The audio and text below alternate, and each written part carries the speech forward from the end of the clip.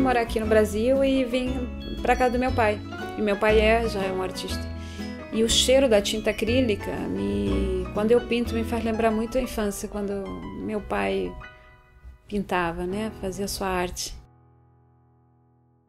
Uma abordagem de, de, de me expressar, um jeito de, de mostrar ao outro o que, o que sou eu, o, o que está dentro de mim.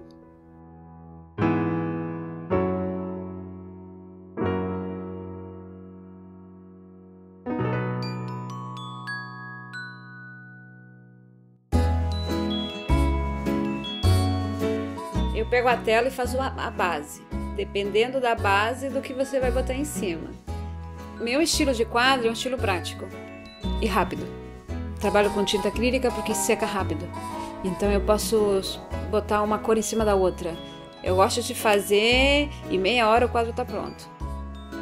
Eu me sinto uma criança pintando e do jeito que eu sei, do jeito que, que me sai, eu gosto de muita cor em tudo, não só no quadro. Eu gosto de, de, de botar alegria, de botar cores, de botar felicidade. A cola relevo que dá é essa parte meio tridimensional que eu gosto.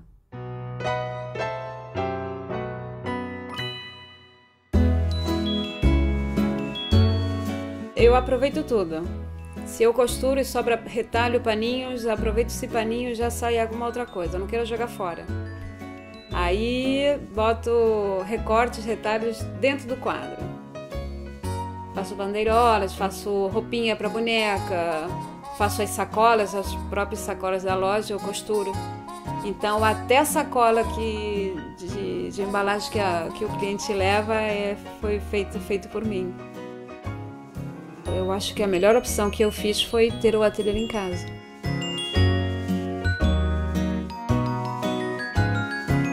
Tenho esse privilégio de fazer e levar as coisas no meu ateliê e abrir as portas para as pessoas entrarem e ver meu trabalho. Eu acho que eu me sinto privilegiada nesse ponto de artista. E é lindo ver o que as pessoas comentam, o que as pessoas falam, a interpretação de cada um eu quis ambientar, fazer um ambiente de casa. Então eu boto peças antigas porque parece tipo casa de casinha da vovó. É que nem é como que vocês vêm me visitar. Essa é minha casinha de final de semana. A tela tem um espaço como para escrever. Então eu sempre boto por sempre criança no seu coração.